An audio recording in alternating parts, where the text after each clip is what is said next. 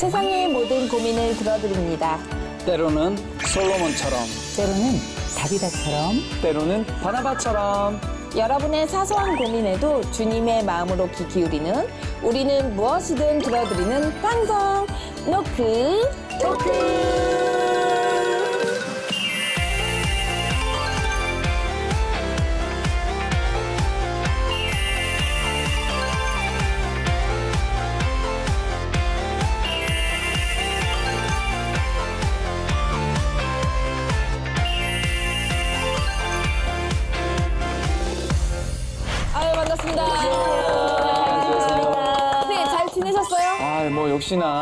뭐 바쁘게 네. 아, 핫 뜨겁게 아 뜨겁게.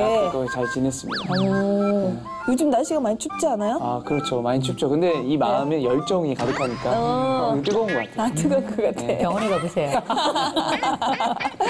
네, 목사님은 어떻게 지내셨어요? 네, 어, 또 입맛을 돋구기 위해서 아내하고 맛집을 조금 찾아다니면서 삶의 활력을 조금 네, 찾아보려고 노력하고 있습니다. 아, 우리 목사님 맨날 옷이 작아진다고 하시면서도 네, 네. 맛집은 빠짐없이. 찾아다니시네요. 아, 자꾸 이게 안 잠겨요. 그러면 이번 한 주도 우리 삶의 주인이 되어주신 주님께 감사드리며 노크토크 21번째 시간 시작하겠습니다. 오늘의 이슈 키워드부터 만나볼게요. 이슈 키워드 보여주세요.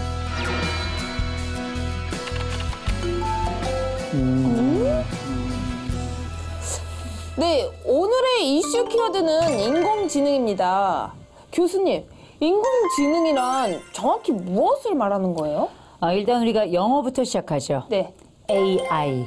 AI. AI. AI. 네. 예, AI 이거 아니고요. 아, 예. AI. 어, AI. artificial intelligence라 그래서 말 그대로 인공적으로 만들어진 지능이다 이런 개념인데요. 이걸 조금 사전적으로 좀 풀어보면 컴퓨터를 통해서 사고나 학습 이런 인간이 가진 지적 능력을 이 기계를 통해서 구현하는 기술 이걸 우리는 인공지능이다 이렇게 부르고요. 사실 가만 생각해 보면 우리가 SF 영화에서 봤던 것처럼 네, 네. 인간처럼 말하고 생각하고 행동하고 느끼는 그런 로봇의 개념을 생각하신다면 음. 가장 인공지능의 정점을 찍었다 이렇게 보시면 될 것 같아요. 네. 저 역시도 그렇고 인공지능의 도움 없이 지내시는 분들 없으시잖아요. 우리 식구들은 어느 부분에서 가장 많은 도움을 받고 계신가요? 내비게이션 항상. 어, 기본적으로. 맞아, 맞아. 그거 없으면 못 찾아가니까. 음. 아, 그게 진짜 크다. 그러니까 차가 무용지물이더라고요. 맞아. 못 찾아가요, 저는. 음. 아리아, 지니, 어. 어, hi, 뭐, 뭐, 뭐, 오케이 구글, hi 빅스비 뭐 맨날 부르면서 살아요. 남들이 보면 제가 애가 많은 줄 알아요. 대답도 하잖아요. 어, 그럼요. 네. 괜찮습니다. 어, 맞아, 이러면서 맞아, 대답해요, 맞아. 애들이. 그렇게 얘기한 적도 있었어요. 제가 뭐 누구누구야, 나 오늘 외로운데 너 오늘 뭐해? 그랬더니 어, 상당히 곤란한 질문입니다. 이렇게 뭐 이런 얘기 하던데. 네. 그리고 맞아, 뭐 맞아. 너 나랑 사귈래? 그러면 아 사양할게요. 뭐 이런, 진짜 이렇게 대답하는 경우도 있어요. 이거 기계마다 다른 것 같은데. 그거 맞아요, 맞아. 심심이 기능. 음, 심심이 맞아. 어, 재밌어, 맞아요. 재밌어. 아니 뭐 저도 이제 좀 인공지능의 도움을 받은 적이 있는데 음. 논문 쓸때 어. 원서를 읽어야 되잖아요. 그 원서 읽는 게 상당히 이제 시간이 걸리니까 네. 요즘은 번역 그 맞아요. 사이트가 많아요. 네. 근데 이제 거기다가 집어넣으면 어 이게 학습을 해가지고요 음. 많이 넣을수록 번역도가 높아져요. 정확성이 높아지죠. 네, 정확성이 높아져요. 근데 저희 아내도 동시에 논문을 같이 이 쓰느라 많이 봤는데 저는 좀 집어넣으면 정확도가 한 70%면요. 저희 아내는 90%가 넘게 나오는 거예요. 그러니까 워낙 많이 돌리니까 나중에는 웬만한 영어 문장을 넣으면 번역이 거의 비슷하게 나온 거예요. 그래서 야, 이건 정말 신세계다. 네. 목사님 제가 솔직히 고백을 드리면 제가 그 속에 들어가서 제가 한 거예요. 죄송합니다. 네. 아니 우리 식구들만 해도 이렇게 다양한 부분에서 인공지능의 도움을 받고 있는데요. 그럼 본격적으로 인공지능이 주는 편리함에 대한 이야기를 좀 나눠볼게요. 교수님 누구나 느낄 수 있는 대표적인 편리함은 어떤 게 있을까요? 대신해 주잖아요. 어. 두 번째 다 해주잖아요. 네네. 또 빨리 해주잖아요. 그럼 싸잖아. 그죠? 그 우리가 사실은 누구한테 뭐 이런 거 부탁하려 봐요. 돈 들어가요. 남편한테 부탁하려 봐요. 성질이 다요. 아까 속이 뜨끈하다 그랬죠? 그거는 남편에게 뭘 부탁했을 때 잘 안 해주잖아요. 이 안이 터집니다. 아, 뜨겁지 이게 다. 이게 다 터져서 나오는 거예요. 이게. 굉장히 뜨겁네요. 네. 이제 이제 이런 요소들이 인간의 편리를 굉장히 도모해 주고요. 그러면서 사실상 인간이 해내야 할 여러 항목들을 굉장히 촉진해 주는 이런 역할을 하기 때문에 사실 우리가 인공지능이라는 능력이 과거에는 뭐 어떻게 어 혹시 두려운 거 아니야? 인간에게 도전이 되는 거 아니야? 이런 두려움도 있습니다만 그럼에도 불구하고 너무 편리하죠. 음. 근데 사실 이렇게 보면 편리한 점이 투성인데 인공지능의 시대가 오면서 우려되거나 걱정되는 부분이 있다는 분들도 계세요. 어떤가요? 왜 우리가 옛날에 네.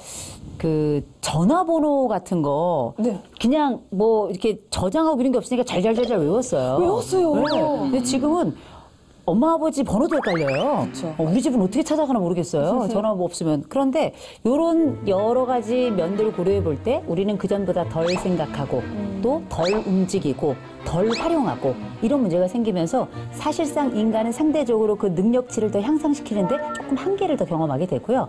두 번째로는 우리가 이 인공지능하고 노느라고 사람하고의 접촉면이 너무 좁아져요. 심지어 제가 했던 한 연구 파트는 인공지능을 이용해가지고 우울증을 실시간으로 진단하고 실시간으로 이 우울증에 대한 처방까지 내려주는 이런 앱도 개발을 했거든요. 그 과정에서 어떤 걸 알게 됐냐면 이분들이 굳이 의사를 찾아갈 필요가 없고 의사 뭐 상담 사를 찾아갈 필요도 없는 거야. 이 과정을 먼저 하고 그다음에 뭐 심각하면 이차적으로 연결이 되는 거긴 한데 그만큼 일반적인 부분과 전문적인 영역에서 사람의 접촉 면이 줄어든다는 것. 이런 면이 있고요. 세 번째로는 요새 SF 영화 같은 데 보면 과연 인간은 기계와 사랑할 수 있을까? 어. 이런 주제들이 나오죠. 그래서 이제 뭐 허라는 영화 같은 내용을 보면 이 이제 어떤 휴대폰에 있는 인공지능하고 계속 대화하면서 사랑에 빠지는 영화거든요. 그게 과연 가능해지지 않을까 싶은 생각이 들 정도고요. 우리보다 이런 여러 신체 기능들이 부족할 때 기계를 대체해서 이런 기능들을 활성화하고 굉장히 향상시키는 이런 인간을 우리가 보통 transhuman이라고 불러요. 인공 뭐 관절 이식을 한다든지 스프린터가 막 빨리 닫는다든지 이런 거. 그리고 나서 이거보다 더 발달된 인간의 형태를 우리가 posthuman이라고 보통 부릅니다.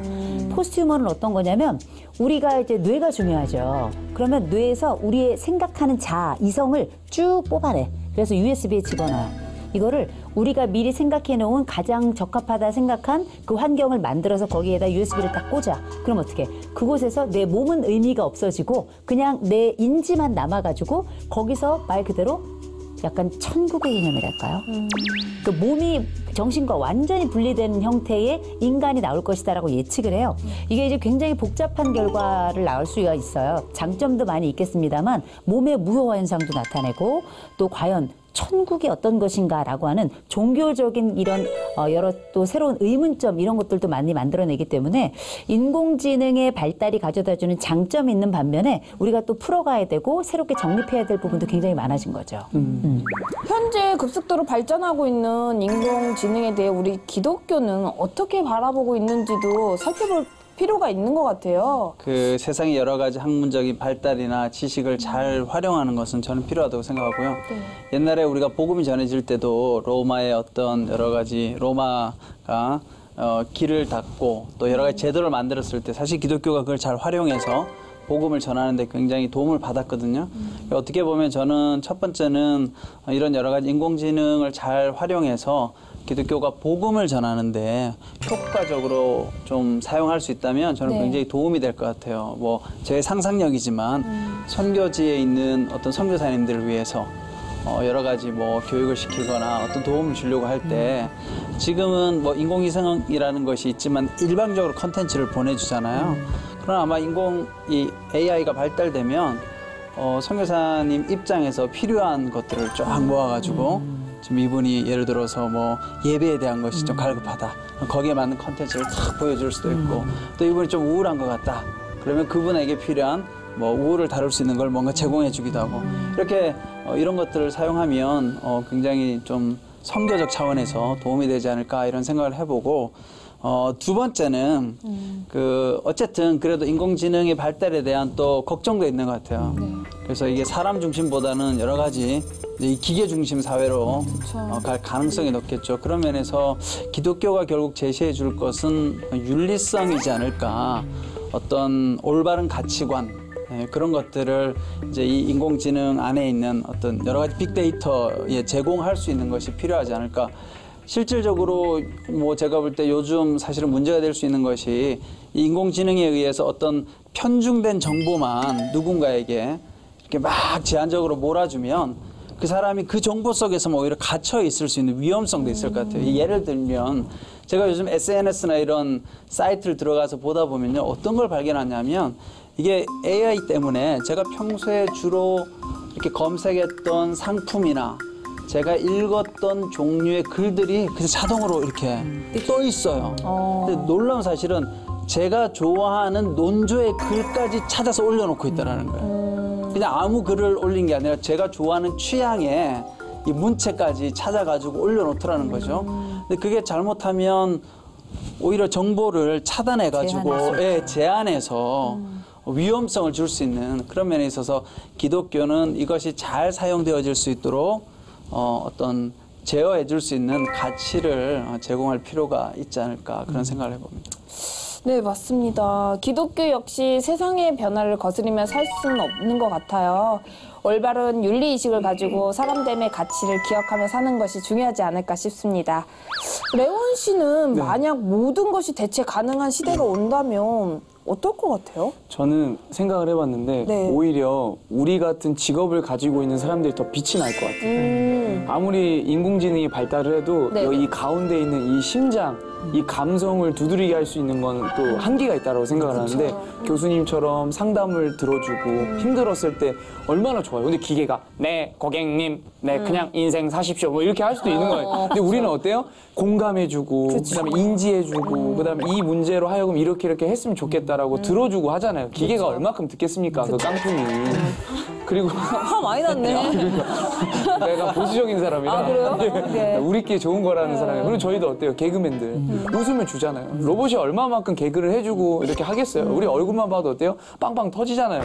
그러니까 이런 저는 그렇게 생각을 해요. 우리 직업들이 또 목사님은 어떻습니까? 또 하, 기도해주고 기도가 안수한다고 생각 아니 뭐야 로봇이 안수 기도가 안 돼. 로봇이 안수한다고 생각해 보세요. 이게 말이 됩니까? 이게 딱 전해져야 되는데 이 영이 딱 들어가야 되는데 그런 생각이 듭니다. 기도가 안 돼. 그러니까 네, 오늘 녹화 재밌습니다.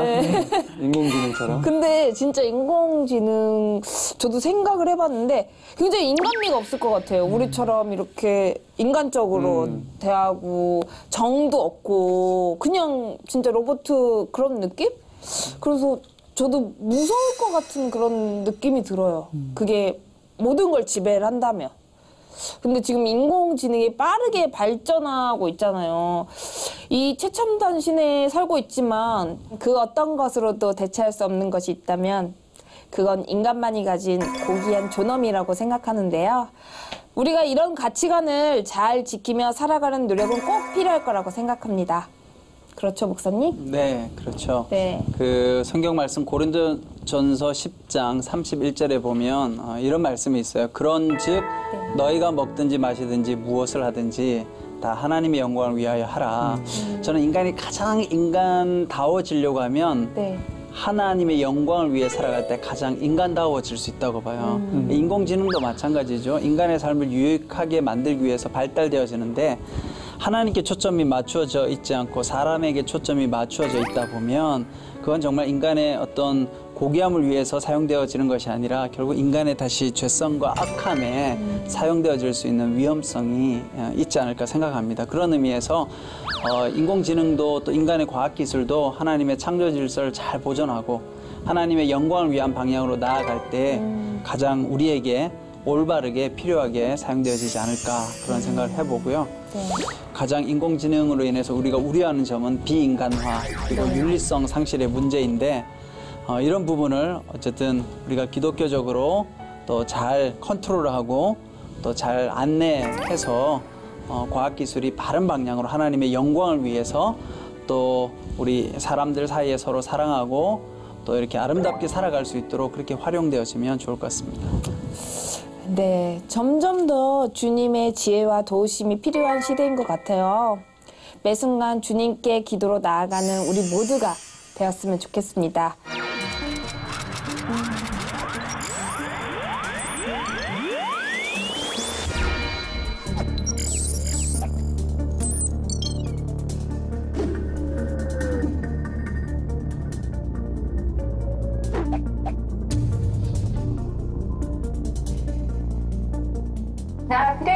Just to go exterminate, exterminate. Sophia. Relax. Learn to take a joke. Yeah, very funny. 이 아이는 죽었다 깨내도 인간보다 똑똑하지만 생명이 못 되는 거예요. 사랑하는 사람. 이건 인공지능이 못하거든요. 사랑하고 행복을 추구하고 어려운 사람에 대해서 아픔을 같이 느끼는 그 세 개의 마음을 가진 사람이 인공지능을 올라타서 컨트롤 해야 된다. 그러니까 앞으로는 무슨 시대가 와요? 생명화 시대가 온다. 그래서 AI 시대에 진짜로 종교가 시작하는 거다. 그럼 이제 오늘의 사연 만나볼 시간인데요. 매일 씨 네. 준비되셨나요? 네, 사연 읽어드리겠습니다.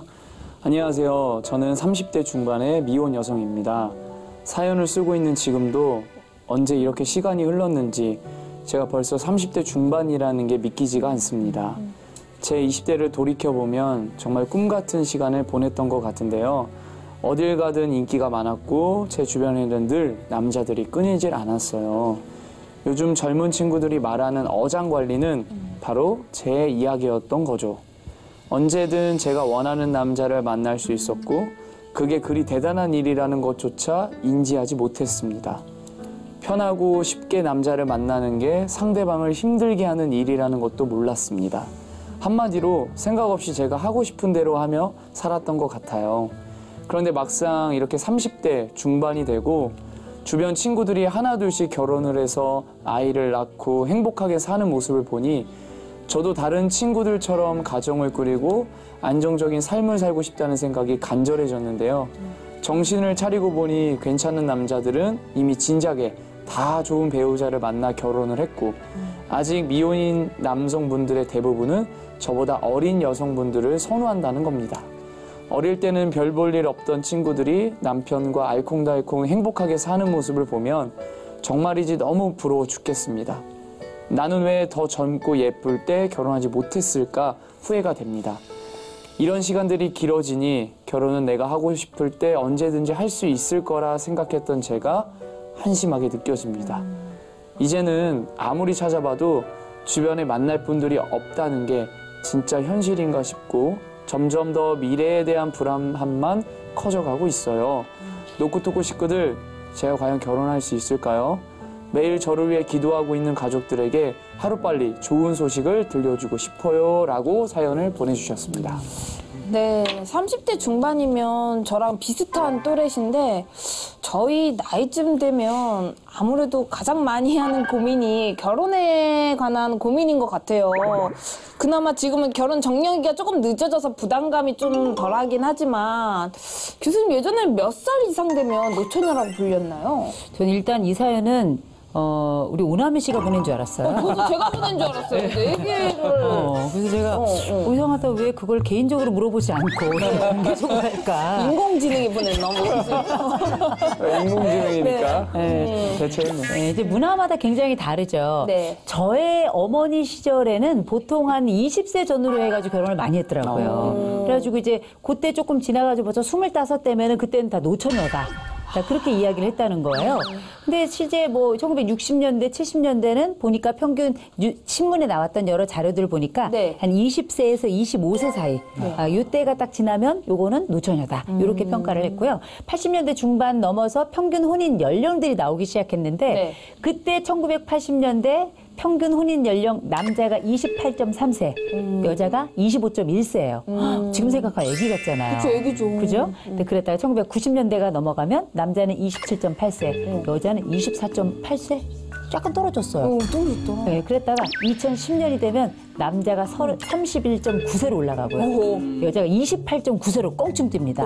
그랬다가 지금 2016년에는 남자가 32.8세, 네. 여자는 30.1세. 기본적으로 30세가 다 훌쩍 넘어간 거죠. 네. 지금은 어떠냐? 요새는 이제 한 뭐 서른에 결혼하면 야 너무 빨리 결혼한 거 아니냐? 남자나 여자나. 그래서 남자들은 이제 한 서른여덟 정도 되면 아, 이제 좀 결혼 좀 해야 되지 않나. 여성들도 서른다섯 좀 넘어가면 이제 아 요때쯤 이제 결혼 정년기다 이렇게 생각을 하는데 우리가 생물학적으로 보자면 여성의 가임기의 마지막은 35세입니다. 어, 그래서 우리가 지금 뭐 의학이나 뭐 과학이 많이 발달하긴 했습니다만 어, 생물학적으로 요 시기는 발달상으로 정해져 있기 때문에 우리가 사랑의 시기와 실제 임신과 출산의 시기는 조금 다르다고 봐야 되겠죠. 네, 제 주변에도 보면 확실히 늦게 결혼한 분들이 아이를 갖는데 어려움이 많으시더라고요. 사실 저도 단지 결혼을 늦게 하는 것에 대한 스트레스보다는 아이를 낳는 것에 대한 그 부분이 가장 걱정되긴 하는데 혹시 여기 계신 두 분은 노처녀 노총각 그 시절을 보내보신 적이 있으신가요? 저를 보고 얘기하시는 분 제가 그럴 것 아니 같다는 아니 그러니까 생각이 이렇게 아니 이렇게 했다가 어, 잠깐만 여기는 나는- 아닌 것 같고 이렇게 이렇게 나는 아직 창창하지. 어 그래서 다시 옮겼잖아 선을 제가 해당됩니다. 네. 제가 해당되는데요. 어, 저는 결혼을 상당히 늦게 했고 40대 초반에 에, 결혼을 했습니다. 우리 이호승 교수님 잘 아시지만 꽤 오랜 시간 동안 제가 정말 결혼하기 위해서 30대 초부터 열심히 노력했는데 네. 정말 결혼하는 것이 힘들었습니다. 사실 정말 한 10년 동안 만난 그 여성의 숫자를 세어보면 한 100명 될 것 같아요, 정말. 일, 아니, 1년에 10명씩 만났다고 치면 10년이니까 제가. 그냥 아는 사람이 다 여자친구는 아니에요. 그렇죠. 어. 가끔씩은 두려울 때가 있어요. 혹시 성도님들 중에 누가 앉아 있을까 봐. 오. 네. 만난 분들 중에 또 사실이신 것 같은데요? 오. 아무튼 네. 네, 그렇게 오랜 시간 동안 어, 그때 이제 제가 가졌던 두 가지 감정이 있었는데 하나는 이 결혼이 늦어지다 보면 결국 열등감이 생겨요. 아, 내가 매력이 없나? 어, 한 사람을 내가 선택하지 못하네. 나 한 사람 좋다고 이렇게 하는 사람이 없구나. 이런 마음이 이제 들어서 열등감이 느껴지고 어, 또 하나는 이제 신앙인이다 보니까 도대체 이걸 어떻게 영적으로 해석해야 되나 하나님의 뜻이 궁금한 거죠. 나한테 짝이 있습니까 없습니까? 그래서 제가 주변에 친한 선배 목사님들께 꽤 많이 물었어요. 저 결혼할 수 있을까요? 이 사연자와 똑같아요. 저 결혼할 수 있을까요? 그러면 어, 제 선배 목사님 늘 그랬어요. 할수 있지. 할 거야. 아, 그래서 결국은 결혼을 하게 됐는데 이제 하고 나서 보니 어, 조금 덜 불안해하고 조금 덜 염려하며 살 걸. 그리고 그 시간에 주어진 내 삶을 조금 더 즐기면서. 근데 이제 너무 결혼이라고 하는 우리가 목적론에 치중하다 보면 삶이 늘 이렇게 행복하지가 않은 거예요. 내가 빨리 해야 되는데 누군가를 만나도 저 사람하고 내가 결혼할 수 있을까 없을까만 보지 이게 조금 더 편안한 만남을 못 갖는 거죠. 그래서 어, 하고 나니까 그런 아쉬움이 또 있더라고요. 조금 더 여유롭게 살 걸. 그렇죠. 저도 이 연애가 잘 안 될 때면 괜히 하나님께 투정을 부리게 되더라고요. 진짜 투정을 너무 많이 부, 부렸어요, 저도. 그래도 이제 목사님은 너무나 아름다운 사모님과 이렇게 살고 계시니까 정말 행복하실 것 같아요. 네. 맞아요? 영혼이 있었어요, 지금? 하나님의 은혜를 살고 있고요. 아, 사모님이 정말 아름다우세요. 정말요? 굉장히 유능하시고요. 예. 근데 사실 이제 저도 저기 우리 내용하고 조금 해당되는 게 네. 결혼이 늦다 보니까 이제 아이가 안 생겨서 이제 어, 여러 가지 뭐 노력하고 있는데 어, 그런 면에 있어서는 또이 아이도 하나님께서 선물로 주셔야 가능한 거지 않나 그런 생각을 해봅니다. 네. 사연의 주인공분은 지금 보고 계시죠? 40대에도 충분히 가능하다는 걸 우리 목사님이 증명하셨잖아요. 지금 저희 방송 시청하고 계신 미혼분들도 모두 힘내시길 바랄게요. 그럼 이제 오늘의 고민 사연 하나하나 자세히 살펴봐야 할 텐데 다들 주변에 아직 혼자이신 분들 계신가요? 옆에서 지켜보면 어떤지 궁금해요. 어, 제 친구들 중에는 지금 네. 싱글로 살고 있는 친구들이 많아요. 오히려 지금은 결혼한 친구들도 물론 꽤 많습니다만 10명의 친구가 있다면 제 친구들 중에는 3명 정도는 지금도 싱글이에요. 한 번도 결혼해 보지 않은. 음, 왜냐면 이 친구들이 계속 일을 하니까요. 일을 하고 또 전문 영역에 있고 그러면서 또 열심히 뭐 살아가고 이러다 보니까 그 친구들이 제 고등학교 때 친구들, 대학교 때 친구들 생각해 보면 정말 예뻤던 친구들이에요. 어, 주변에서 왜 어, 이렇게 뒤에 아, 구름과 것도 같은 남자들이 옹위를 하는. 그래가지고 나도 뒤를 돌아봤는데 나는 없는. 뭐 이런 굉장히 인기도 많았던 친구들인데 그 친구들은 그 모든 남자들의 그런 청혼을 다 이제 미루고 나 일하겠다고 그렇게 해서 지금까지 지내오는데 이 부류가 좀 나눠지더라고요. 네네. 어, 한 두 명의 친구, 이렇게 네 명이 있다면 한 두 명 정도는 그냥 나 지금 괜찮아? 나쁘지 않아? 결혼 뭐 해도 나쁘진 않았을 것 같은데 지금도 괜찮아? 라고 얘기하는 친구가 둘이 있고요. 네, 나머지 두 친구는 야, 지금이라도 어떻게 안 되겠냐. 어? 어, 그래서 이제 뭐 어떤 환경을 가진 남자도 괜찮으니까 결혼 한번 해봤으면 좋겠다. 이렇게 말씀하는 그런 친구들도 있어서 어떻게 보면 개인차가 굉장히 큰 것 같아요. 근데 어, 다들 만났을 때는 그냥 뭐 철없긴 다 똑같더라고요. 저나 지들이나 결혼 하나 안 하나 그러나 결혼 생활에 대해서 이야기를 할 때에는 결혼하지 않은 친구들이 약간 소외감을 느끼는 것 같고요. 또 경우에 따라 개인적인 이야기 할 때는 오히려 혼자 살면서 본인의 삶을 충분히 누리는 그 친구들이 좀 부럽기도 하고 양자가 다 있는 것 같아요. 여성 분들은 혼자 사셔도 되게 예쁘게 자기를 꾸미고 자기 관리가 철저한데 제 주변에 친한 교회 형들이 있어요. 네, 네. 마흔 살 정도 된 형들도 있고, 그러니까 서른 후반도 있어. 그래서 제가 아 저 형들을 버려야 되나? 내가 결혼을 하려면 왜냐면 끼리끼리 어울리면 안 되니까 나도 나는 아직 창창한데 근데 좀 안타까운 게.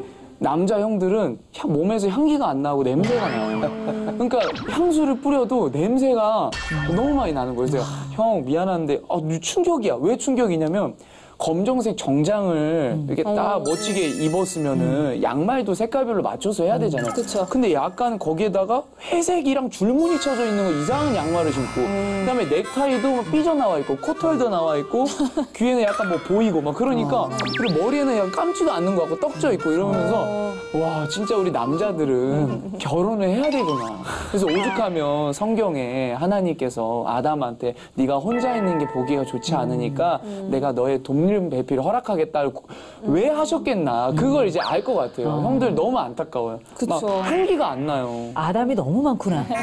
그 너무 심해요. 다 에덴 동산인 것 같아요. 우리가. 너무 냄새 나고. 냄새 나. 어, 형들, 나 이거 같이 다녀야 되나, 형들하고. 지금 방송 보고 있는 성호 형, 정신 차리란 말이야. 성호 형.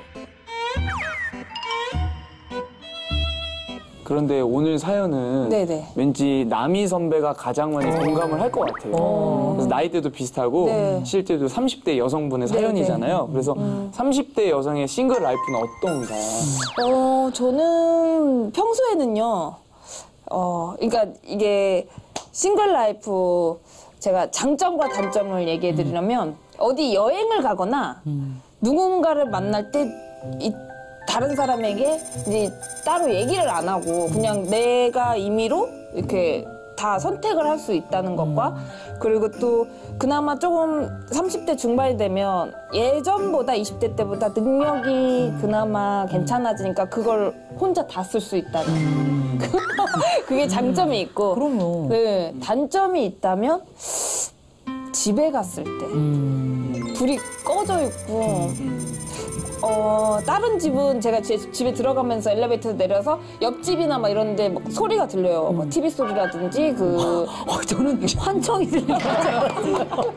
아니요 옆 옆집이 이렇게 있는데 다 이제 붙어 있어가지고 새 집이 이렇게 동그랗게 있거든요. 너무 붙어 있네. 예, 그러면은 이제 들려요. 들리면 뭐 애기 소리, 음, 또 옆에 옆집 또 이제 가족 소리 그런 거 들으면 아 나도 이렇게 가족을 이렇게 가정을 하나의 가정을 꾸리면 너무 좋겠다라는 그런 생각은 들더라고요. 꾸리고 싶다.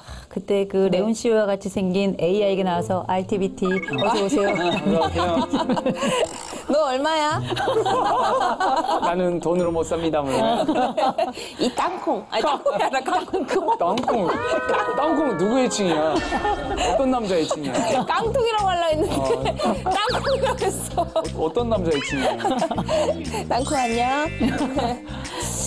네, 아무래도 우리 목사님은 결혼을 또 일찍 하시는 분들이 많으셔서 목사님들 사이에서도 결혼은 굉장히 중요한 주제일 것 같은데요.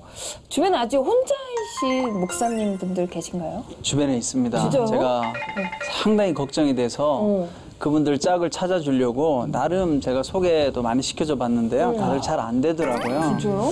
제 주변에 있는 이제 남자 주로 목사님들이시죠. 네. 어, 이분들은 상당히 결혼을 하고 싶어요. 왜냐하면 또 목회적으로도 결혼을 하지 않으면 교회에서 사역하는데 여러 가지 제약이 많이 있어요. 음, 그쵸. 예. 어, 잘 선호하지 않겠죠. 아무래도 사모님이 없고 또 결혼 생활 안 해봤기 때문에 조금 우려하는 부분도 있고. 음. 그쵸. 어, 그런데 이제 막상 제가 소개를 시켜주면 많은 경우 또 우리 여성분들이 음. 어, 목사님이라고 알고 나왔음에도 불구하고 네. 어, 목회자를 대하는 태도를 보면 목회자가 아니라 일반 남성들하고 똑같이 음. 대하더라고요. 그러니까 어떤 경제적인 능력, 네. 또 외모, 어, 뭐 여러 가지 이런 것들을 이제 보다 보니까 사실 목회자 입장에서 좀 어렵죠. 그런 부분에 있어서. 그러다 보니까 잘 안 되더라고요. 연결이. 그래서 참 안타깝게 지금도 계속 싱글로 그렇게 가는 분들이 많이 계세요. 주변에. 참 안타깝죠. 그렇죠. 나이, 능력, 직업 상관없이 어디서나 외모에 대한 조건은 빠지지가 않는 것 같아요. 좀 씁쓸한데요. 근데 교수님, 결혼 정년기가 지난 후에 혼자이신 분들은 대부분 왜 그 시기를 놓친 걸까요? 만날 사람이 다 없어졌어요. 이게 누군가 그러더라고요. 휴거냐, 이게. 아, 휴거. 이렇게 얘기하시는 분들 계신데. 근데 이제, 어, 우리가 나이가 든다는 건 여러모로 참 순기능도 있지만 역기능도 있는 것 같아요. 이제 스물이 지나고 스물다섯, 또 네. 서른이 지나고 서른다섯, 또 마흔, 최근에는 이제 뭐 45세 이렇게 넘어서 또 결혼을 할 대상을 찾는 분들도 계신데, 우리가 되게 어, 늦게 하는 결혼일수록 실패하면 안 되거든요. 그러니까 조금 더 완벽하고 안전한 대상을 찾으려고 하니까 더 범위가 좁아들고요. 그 다음에 사실 우리가 고 중년이 시작된다고 하는 35세가 넘어가서 중년이 막 이제 무르익어가는 그 나이가 되면 또 승진이라고 하는 사회적 영역에서의 발달이 생겨나요. 그럼 이거 또 결혼했을 때 이런 변수들이 생기는 게 너무 어렵고요. 네, 네, 네. 그리고 보면 사회생활 딱 해보잖아요, 막상. 결혼을 해보고 싶은데 막상 사회생활 해보니까 이상한 남자 너무 많고 이상한 여자 너무 많은 거야. 또 그만큼 불신도 또 따라서 많이 올라가고요. 그리고 결혼한 친구들이 다 뭐라 그러냐면 너는 하지 마라. 내가 해봤는데 너만은 하지 말아라. 내가 널 정말 생각해서 하는 얘기인데 너는 절대 하지 마라. 그래놓고서 어, 무슨 모임 있으면 자기네들 꼭 가. 그래? 그죠? 그리고 돌잔치 나보고 꼭 오래. 네. 뭐 이런 얘기 하잖아요. 네. 그리고 또 안타까운 게 결혼을 안 한 분들은 결혼을 안 한 친구들끼리 몰려다니고 네. 다른 친구가 결혼을 하면 그걸 나가. 아, 일종의 혈맹처럼, 음. 어, 개모임처럼 해가지고 우리 늙어도 꼭 같이 살자 다짐을 해요. 음. 물론 그렇지 않은 경우도 있겠지만 우리가 나이 들어가면서 이런 선택의 범위가 좀 좁아지는 것 같고요. 사회가 주는 재촉감도 또 커져서 내 마음도 좀 급해지는 것 같아요. 그런 상황에서 정말 좋은 파트너가 어떤 사람일까 많이 경험을 해보니까 우리가 이제 흔히 어, 눈이 높아진다 이런 얘기를 하는데 그만큼 내 선택의 폭은 많이 좁아지고 내가 누군가를 선택한다는 게 두려움도 많이 생겨나는 거죠. 어, 교회 안에서 한번 생각해 보면 네. 사실 교회 안에 청년들이 있는데 이 미혼 남성보다는 미혼 여성들이 굉장히 많아요. 대부분의 교회를 가보면 네. 청년부에 어, 이 미혼 여성의 비율이 한 70%예요. 뭐 많은 데는 80% 가까이 되는데 네. 이게 눈씻고 봐도 이제 우리 형제들이 잘 안 보이는 거죠. 그러다 보니까 결혼을 너무 하고 싶은데 기본적으로 이 성비가 안 맞는 거예요. 가끔 그런 생각해요. 도대체 이, 이 청년 남성들은 다 어디에 가 있는가. 그러니까 아까 휴거론이 나오는 거예요. 그러니까. 제가 볼 때 아무래도 근데 여성분들이 신앙이 좋은 것 같아요, 대한민국은. 근데 이 남성분들이 아마도 이제 어쨌든 사회적으로 여성보다는 남성들이 좀 더 사회로 진출하고 또 직장 생활을 해야 되다 보니까 그 나이에 직장에 들어가야 되고 또 직장에 들어가다 보면 일을 많이 하고 어, 그러다 보니까 아마 교회 나오는 것도 쉽지 않고 네. 어, 뭐 그런 어려움이 있는 것 같아요. 이제 그런 의미에서 어, 이런 성비의 어려움이 있고 또 하나는 교회 안에 있는 우리 여성들을 보면 미혼 네. 여성들을 보면 제 눈에는 대체적으로 신앙심이 좋고 성실하고 또 대체적으로 여러 가지 학력이나 직장이나 이런 것들도 나쁘지 않아요. 배경들이 참 좋아요. 그런데 이제 상대적으로 이게 남성들은 작잖아요 숫자가. 그러니까 이 여성들의 여러 가지 상황과 어떤 커리어에 맞는 남성들을 만나고 싶은데 부족한 거죠 역시. 그러다 보니까 이제 이 청년부 시기를 열심히 교회 다니고 믿음 생활을 했는데 이게 뭐 자기한테 적 절한 남성을 만나지 못하다 보니까 그냥 시간이 흘고 흘러서 네. 나중에는 정말 나이가 먹어서 골드미스가 되는 객관적으로 볼 때 참 제가 볼때 어, 예쁘고 아름답고 믿음도 좋고 한 그런 청년들이 참 많은데 어, 결혼을 하지 못하는 걸 보고 참 안타까울 때가 참 많이 있습니다. 이야기를 나누면 나눌수록 힘이 좀 쭉쭉 빠지는 기분인 건 저만 그런 건가요? 같이 느끼고는 아, 있어요. 느끼고 있었어요? 느끼고는 있어요. 네, 사연의 주인공도 현재 가장 큰 걱정이 주변에 만날 남자분이 없다는 거잖아요. 다들 결혼을 했다거나 아니면 어린 친구들을 만나길 원하거나 사연자를 위한 우리 식구들의 현실적인 조언이 필요할 것 같아요. 남자들이 갑자기 뭐 휴거가 되거나 외계인이 납치를 하거나 그런 건 아니죠. 그쵸. 어, 근데 우리가 기억해야 될 게 사람은 참 일관성이 있는 것 같아요. 그 전에 매력이 있던 사람은 놀라울 정도로 시간이 지나도 그 매력이 잘 변치 않아요. 그래서 우리가 왕년에 내가 뭐 좀 했어 하는 사람들은 분명히 이 사람의 현재의 모습에도 그 여러 흔적들이 또 남아 있거든요. 그 얘기는 그 사람이 가지고 있는 단순한 외모만의 문제가 아니라 그 사람이 가지고 있는 인격의 문제라든지 아니면 그 사람이 그 사람만이 가지고 있는 아주 고유한 그 아름다움 그 보석 같은 특징이 어쩔 경우에는 이제 자주 아주 더 크게 빛날 때도 있지만 약간 사그러질 때도 있지만 여전히 남아 있는 거거든요. 네. 그걸 기억하는 게 중요해요. 자신감을 갖는 게 대단히 중요하다는 거죠. 두 번째, 어, 배우자 평가 기준을 다른 분들에게 좀 물어볼 필요가 있어요. 혹시 내가 너무 빡빡한 기준, 너무 높은 기준을 가지고 있는 건 아닌가? 그래서 만일 내가 뭐 기준이 봤더니 어, 적어도 키는 180이 넘어야 되고 또 대학원은 나와야 되고 아버지가 회사 두 개 정도는 있어야 되고 저녁에 밥은 호텔에서 먹어야 되고 wow. 그리고 한 달에 한 번 정도는 해외에 나가야 돼. 이건 어떻게? 해? 다음 생에도 어려워요. 어. 그런데 이제 이 중에 만약에 몇 가지를 좀 접고 보통 이렇게 생각하는 분들보다 그냥 뭐 평범하게 살고 그냥 직장이 있고 또 우리가 생각할 때 성격 그냥 나쁘지 않고 신앙이 있고 이 정도인데 그 중에 조금 부족함이 있더라도 네. 내가 채울 수 있는 부분 있잖아요. 네, 이런 네, 부분은 항목을 좁힐 수 있을 것 같고요. 더 중요한 거 진짜 나는 결혼이 간절한가? 진짜 나는 결혼이 간절한가 한번 살펴봐야 돼요. 그래서 어, 내가 지금까지 사귀었던 남자들 한번 쭉 살펴봐야 돼요. 아, 나는 어떤 사람을 좋아했나? 글쎄, 왜, 그 사람의 외모였나? 그 사람의 성격이었나? 그 사람의 배경이었나? 그 사람의 신앙이었나? 아니면 그 사람이 가지고 있는 아픔 보듬는 걸 내가 좋아했었나? 굉장히 내가 그 사람을 바라보고 끌리는 데는 이유가 있을 텐데 아마 그 끌리는 비슷한 이유로 또 한 번 또 다른 사랑에게 끌리게 될 거예요. 그 상황에서도 어떨 때는 내가 밀어낸 이유도 찾아 낼 필요가 있어요. 그 밀어낸 이유들을 조금씩 점검해 본다면 어쩌면 새로운 사랑은 덜 밀어내는 형태로 또 내가 여러 가지 환경을 좀 고려해 가지고 충분히 열어놓은 상태로 누군가를 또 한 번 사랑할 수 있지 않을까 싶어요. 갑 자기 설레인다. 저보고요? 아니요, 아니요. 아니요, 또 눈을 또 맞췄네. 네, 네. 아니 저는 네. 교수님 말씀 듣고 예전에 어떤 분이 이런 간증을 들은 적이 있거든요. 어떤 분이 70가지를 놓고 기도를 했대요. 머리부터 발끝까지 내 신랑을 위해서. 근데 이 여성분이 기도한 대로 응답이 이루어지거든요. 막 자기가 원하는 70가지가 다 맞았대요. 우와. 근데 신혼여행 가가지고 난리 났대잖아요. 왜? 왠줄 알아요? 왜? 딱한 가지가 한 가지 기도를 빼뜨렸던 거야. 뭐? 탈모. 아, 난리 난 거야 이제. 그러니까 난리 난 거야. 어떻게 해요? 탈모가 아, 어때요? 탈모, 탈모. 그 가서 가발이었던 거 그게.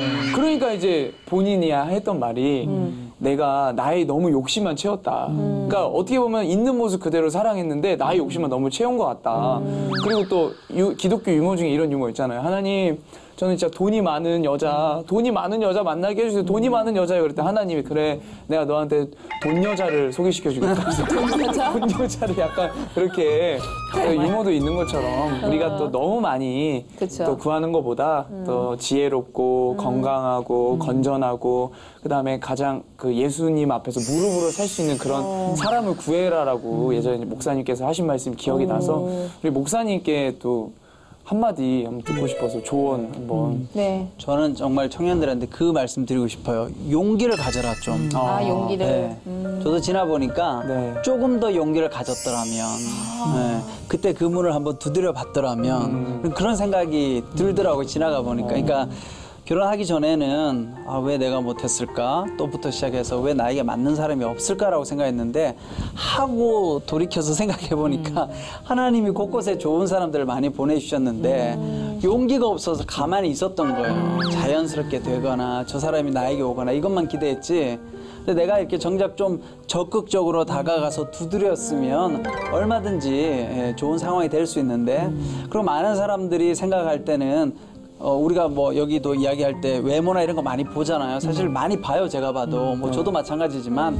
그러나 그게 용기를 가지면 외모가 커버될 때가 있어요. 그래서 사실은 제가 며칠 전에 이제 이거 보다가 저희 아내하고 이야기했는데 저희 아내가 저보다 키가 커요. 이제 제가 상당히 작죠. 저희 아내가 키가 168이에요. 근데 아내가 그런 이야기를 하는 거예요. 자기는 결혼하는 데 있어서 절대 안 되는 게 하나 있었는데 남자는 내 키보다 1cm라도 작으면 안 된다. 무조건 커야 되는 거예요. 그러니까 무조건 커야 된다라고 생각하고 살아왔는데 오늘 저 결혼한 거죠. 근데 중요한 건 어, 우리가 생각할 때, 아, 저 사람 이런 조건 때문에 나 안 좋아할 거야 라고 생각할 때가 많지만 실제로는 그렇지 않다는 거예요. 사람이요. 자기 마음을 자기가 붙들 수 있을 거라고 생각하는데 그렇지 않습니다. 특별히 청년기 때는 이 감정이 하루에도 몇 번씩 왔다 갔다 해요. 중요한 건 용기를 가지고 두들기고 기도하면 어, 문이 열릴 수 있다고 저는 생각해요. 교, 그래서 목- 목사님이 용기가 미움받을 용기는 아니었네요. 아, 진짜 용기였네요. 그 저희 아내가 이제 그런 이야기를 해주더라고요. 친구분이 그랬대요.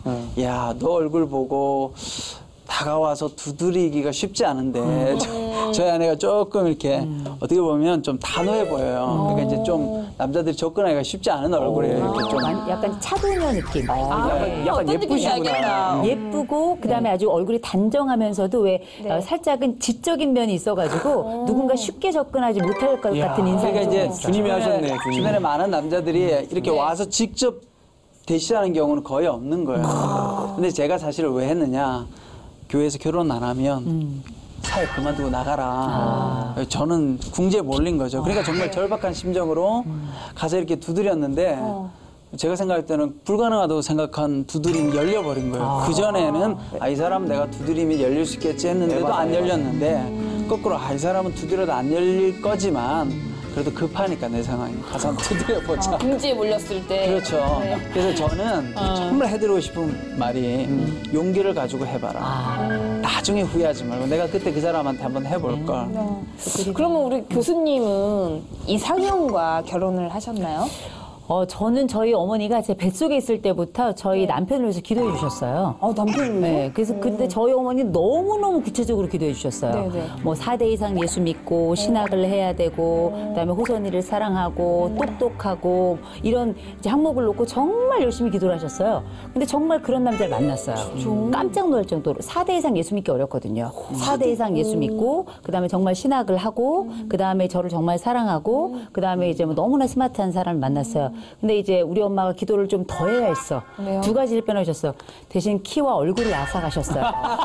아사가 나는 지금 아사가 지금 형부라고 해야 되나? 아니 우리 네. 교수님 형부라고 해야 되나? 어떻게 해야 되는 거야? 선생해요, 괜찮아요. 형부예요, 형부. 네, 형부. 괜찮아요. 아, 형부 목사님은 맞죠? 사모님이라고 했는데 이거 뭐라고 예. 해? 사부님이라고 하셔서 네. 뭐라고 해야 네, 되는 거야? 괜찮습니다. 사부님. 네. 사장님? 네. 사장님. 사장님이요. 아니 뭐라고 해야 되지? 네. 네. 저기 님 남편님. 네, 김, 교수, 김 교수라고. 아, 김 교수님. 네. 김 교수님을 상상하면 굉장히 막 멋있고 막 재밌고 아. 되게 그러니까 이제 그거는 이제 제 어머니의 기도였고요. 네. 저는 이제 연애를 꽤 많이 했었는데 어 저는 180 10cm 아래 키가 그보다 작은 남성이랑 결혼할 생각은 해본 적이 없고요. 그러니까 아예 머릿속에 결혼이 없었으니까. 그냥 연애를 즐겁게 하는 형인데 저는 항상 선택과 집중이거든요. 그냥 네, 네. 그냥 그냥 집중이에요. 근데 이제 연애는 이제 키 큰 남자도 하고 키 작은 남자도 하고 네. 뭐 잘생긴 남자랑도 해보고 그냥 인물이 없는 남자랑도 해보고 했는데 제가 나중에 알게 됐죠. 난 똑똑한 남자를 좋아하는구나. 아, 그래서 어, 제 남편을 만났는데 이 남자가 똑똑하게 저를 웃겨주더라고요. 네. 어, 나 이러면 좋아. 근데 알고 보니까 그냥 똑똑하고 재밌다라고만 생각했는데 네. 어, 어쩌다가 이제 결혼이라는 게 막 맘먹고 하는 게 아니라 저희는 그냥 결혼할까? 그럼 결혼하자 해서 결혼한 거예요. 근데 어떻게 결혼을 했는데 아우 제가 너무 놀란 게 살수록 이 사람이 인격으로 저에게 감동을 줘요. 이게 정 제가 이게 농담을 하는 얘기나 립서비스가 아니라 저는 지금도 제 남편한테 이야기해요. 어, 하나님이 당신이 예, 나와 살게 해주신 건 하나님이 나에 대한 가장 최상의 축복을 주신 것이다. 정말 하나님께 감사한다. 아, 그러니 설거지 해놓고 나가라. 이렇게 제가 먼저. 근데 정말 저는 감사해요. 한 번도 이 결혼을 후회해 본 적이 없어요. 아, 근데 멋있다. 저렇게 해야 어, 되는데. 이성이 그치? 형이 어떻게 되는? 저요? 네. 궁금해. 아니 저는 일단은 대화가 잘 되는 그런 사람과 그리고 좀 친구같이 그리고 지낼 수 있고 저와 좀 라이프 스타일이 좀 비슷했으면 좋겠어요. 그리고 또 저는 또 여행을 또 좋아해가지고 같이 뭐 진짜 배낭 하나 메고 같이 여행도 이렇게 갈 수 있는 편하게 갈 수 있는 편한 사람이 좋은 것 같아요. 근데 뭐뭐 세고 계시세요? 몇 종류, 어떤 몇 가지나 가지고. 네. 근데 뭐 그렇게 많지 않은데요? 네, 네. 어, 저는 이제 이제 갈수록 이- 이게 이상형이 커진다고 하잖아요. 근데 저는 좀 제가 축소를 하려고 생각을 하고 있어요. 몇 개를 얘기했더니 저도 주변에서 그 얘기를 했거든요. 이거 다 해봤자 못해. 줄여. 그러고 분명히 다섯 가지를 얘기를 해보려고 다섯 가지를 얘기했는데 어떻게 다섯 가지나 이렇게 다 채울 수가 있냐고 혼내키더라고요. 다섯 가지 얘기해서 얘기했는데 얘기하라 그러면 그 얘기예요. 줄이라고 해서 근데 이제 한 가지는 분명하겠죠. 어, 여러 가지가 있을 수 있는데 네. 사람은 자기 가장 중요하다고 생각하는 한 가지만 있어도 그걸로 평생을 살 수 있어요. 어, 그건 한 가지 확실해요. 어. 한 가지. 그래서 궁금한 건 레온 씨 이상형은 어떻게 될까요? 저는 일단 뭐 신앙적인 그 기본 베이스 basic은 있어야 되고요. 어. 저는 또 세 가지로 압축할 수 있어요. three 뻐. 오 슬리퍼. 어, 슬리퍼가 아니라 three 뻐. three 뻐. 기뻐, 바빠, 예뻐. 아. 이 세 가지. 예뻐? 예뻐? 기뻐, 바빠, 예뻐. 아, 바빠 예뻐. 아, 나를 보면서 늘 리액션 해주고 기뻐해주고 어우 우리 남 자친구 내 남편 잘한다. 어우 막 응원해주고. 그 다음에 이제 바쁜 거는 자기 일이 너무 좋은 거야. 어, 그래서 일도 딱 하면서 공과사를 구분하고 밥 먹고 살아야 되잖아요. 내가 비정규직이니까 아내는 정규직 해야 될 거 아니에요. 사대보험도 좀 되고. 우리 엄마 원하는 기도 제목이 공무원 만나는 거예요 그러니까 그런 기도 제목. 그 예뻐는 뭡니까? 예뻐야 돼요. 아, 레온 씨 이렇게 어, 기뻐, 바빠, 예뻐 좋아하는 레온 씨 나빠. 교수님 와, 라임입니다. 네, 오늘은 마무리하기 전에 사연의 주인공에게 제가 꼭 해드리고 싶은 이야기가 있는데요. 20대의 자신을 쿨하게 잊으셨으면 좋겠어요. 잘 나가던 시절에 나를 계속 생각하다 보면 그 시간에 머물러 현재를 살아갈 수 없게 되거든요. 과거에 나는 소중한 추억으로 남겨두고 지금의 나로서 할 수 있는 것에 집중하셨으면 좋겠습니다. 목사님, 사연 정리 부탁드릴게요. 네. 저는 이 사연자가 충분히 여전히 저는 아름답고 매력 있을 거라고 생각해요. 20대 때만 그러고 지금은 그렇지 않을 거라고 생각하지 않습니다. 네. 그래서 충분히 매력 있고 아름답기 때문에 저는 하나님께서 이 여성분을 정말 아름답게 볼 수 있는 저는 분명히 어, 훌륭한 어, 남성이 있을 거라고 생각합니다. 그래서 너무 이렇게 내가 20대 때는 괜찮았는데 지금은 별로야 이렇게 생각하지 마시고 아 하나님께서는 나를 존귀하게 여기셔서 나를 아름답게 볼 형제를 준비해 두고 계실 것이다 이런 마음을 좀 가졌으면 좋겠고 두 번째는 만들어져 있는 사람을 찾으려고 하지 말고 하나님 안에서 가능성 있는 사람을 좀 찾아보면 좋을 것 같아요. 많은 사람들이 자꾸 이렇게 만들어진 내가 어, 가지고 있는 이상형의 기준에 해당되는 사람을 찾으려고 하니까 안 보이는데 그 기준에 앞으로 시간이 지나면 해당될 수 있는 사람이 있거든요. 그래서 그 가능성 있는 사람을 어, 좀 찾으려고 노력하면 좋을 것 같고 마지막으로 어, 제 경험이지만 흘러가 보니까 아 내가 예전에 가졌던 안목이 틀릴 때가 참 많았구나. 아, 저희 아내 말고 그 전에. 네. 그래서 중요한 건 그 기도를 해야 돼요. 하나님, 내가 하나님 보실 때 딱 나에게 맞는 사람을 볼 수 있는 눈을 주십시오. 그게 중요한데 우리는 하나님께 내 기준을 가지고 이 사람을 주십시오라고 자꾸 기도하거든요. 근데 사실은 하나님께서 우리에게 주셔야 되는 분을 만나면 가장 행복한데 우리는 하나님께서 준비한 사람이 아니라 나한테 맞는 사람을 찾으니까 어렵고 또 만나도 나중에는 또 거꾸로 불행해지는. 그래서 저는 그렇게 어, 기도하면 하나님께서 분명히 예비된 사람을 만나게 해주실 거라고 생각합니다. 아멘. 네, 오늘도 역시 목사님의 정리는 귀에 쏙쏙 들어오는데요. 목사님 항상 감사합니다. 네, 그럼 이제 기도 편지 읽어드릴 시간인데요. 오늘은 제가 준비했습니다. 네. 괜히 아 오랜만에 쓰려니까 좀 괜히 좀 쑥스럽고 떨리고 그렇더라고요. 제 진심이 사연의 주인공에게 꼭 전해지길 바라며 기도하겠습니다. 네. 하나님, 사연의 주인공을 위해 기도합니다. 사연의 주인공은 지금 결혼에 대한 어려움이 있습니다.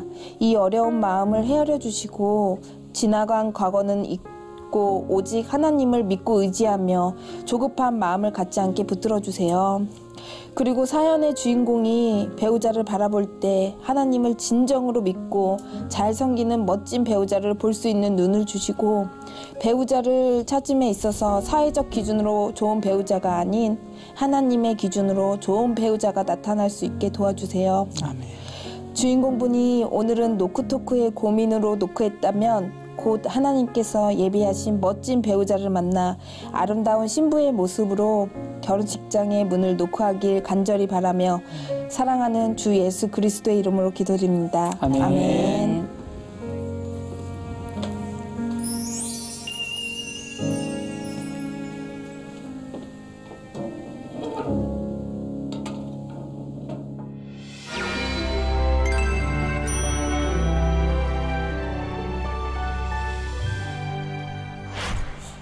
오늘은 노크토크 21번째 시간으로 함께 했는데요. 오늘 어떠셨나요? 저는 그 기도의 법칙 중에 구하라 그리하면 주실 것이요 찾는 이가 찾아내고 두드리는 이에게 열릴 것이니라 말씀이 있는데 이게 연애의 법칙하고도 똑같다고 하더라고요 결혼의 법칙하고. 일단 하나님께 구하고 찾으러 다녀야 된대 네. 그러면서 찾았으면 목범유를 향해서 이제 두드리고 저 남자를 내 걸로 만들어야 된다 네. 그래서 그 말씀을 꼭 드리고 싶네요 저도 지금 찾고 있거든요 아, 남 잡고 있잖아요. 음, 같이 얼굴 보고 있네 저쪽 봐야지 이 파트너라고 하는 게 참 놀라운 것 같아요. 그렇죠. 생면부지 모르는 사람인데 어느 순간 우리는 새로운 사랑에 빠져들거든요. 네. 아무도 모르게 하나님은 우리에게 그 짝을 가까운 데 두셨을지도 몰라요. 그래서 어떻게 보면 어, 먼 데서 찾는 것보다 먼저 가까운 데부터 찾아가고 그 범위를 점점 넓혀가는 게 어떤가. 그리고 그 가운데 제가 좀 마음속에 꼭 한 가지 적어도 기준은 있어야 되지 않을까. 그 기준 중에 다른 모든 것들도 많이 있겠지만 꼭 넣으셨으면 하는 기준. 그 중에 하나는 같은 종교였으면 좋겠어요. 이 종교는 거대한 하나의 울타리이자 거대한 생각의 덩어리이기 때문에 이런 같은 종교를 가지고 있는 파트너를 갖는다는 것, 이건 어쩌면 또 하나의 하나님을 내 안에 두는 것, 이것과 마찬가지일 거라고 봅니다. 제가 예전에 연애 실패했을 때 네. 어, 제가 이렇게 존경하는 지도 교수님이 저한테 그러더라고요. 야, 은규야, 너무 힘들어하지 마.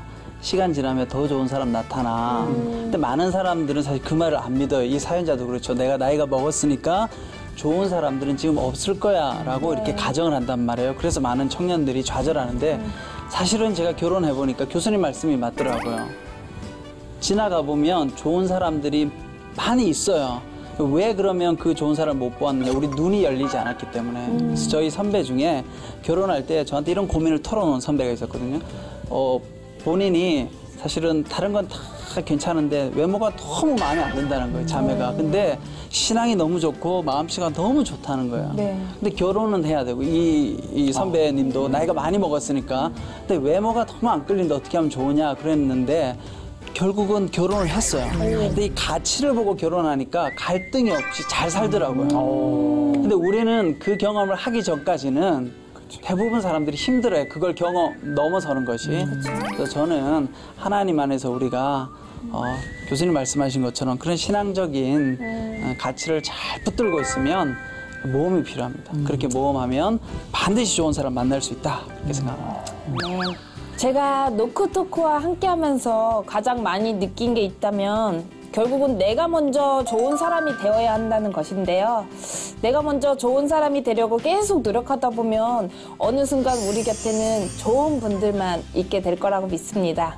누군가 내 이야기를 들어주길 원한다면 주저 말고 노크해주세요. 때로는 솔로몬처럼 때로는 다비다처럼 때로는 바나바처럼 여러분의 모든 고민을 주님의 마음으로 들어드리겠습니다. 사랑과 위로가 함께하는 이곳은 노크 토크. 다음 주에 만나요. 어? 너랑 만나고 되는 일이 하나도 없어. 하면서 낙엽을 막 뿌리면서 가란 말이야 막 이랬단 말이야. 근데 손가락을 한번 꼽아보세요. 정말 많습니다. 이혼하세요라는 설교는 없잖아요. 이혼, 이콜 마치 범죄처럼 이렇게 다룬다고요. 상처받은 그들에게 공동체는 추방을 명하는 거거든요. 그 요즘은 결혼은 결국 혼자가 낫더라. 이혼은 이제 보니 혼자가 낫더라. 재혼은 재차 혼자가 낫더라. 딸이 그렇게 얘기하고 아들이 그렇게 얘기하면은 야 너는 그 집 귀신이니까 그 집 가서 해결해라. 네가 잘못한 거 있는 거 아니냐? 이렇게 따지는 경우도 있는데 우리 엄마 눈 뒤집어집니다. 진짜 우리 엄마 눈 뒤집어지고 어, 막 고민을 많이 할 것 같지만 혼자서 얘기를 못 할 것 같으면 목사님과 이호선 교수님께 가격을 올려야 되겠네. 아 가격 가격 많이 받으셔야 돼. 감정 대리 어. 가격.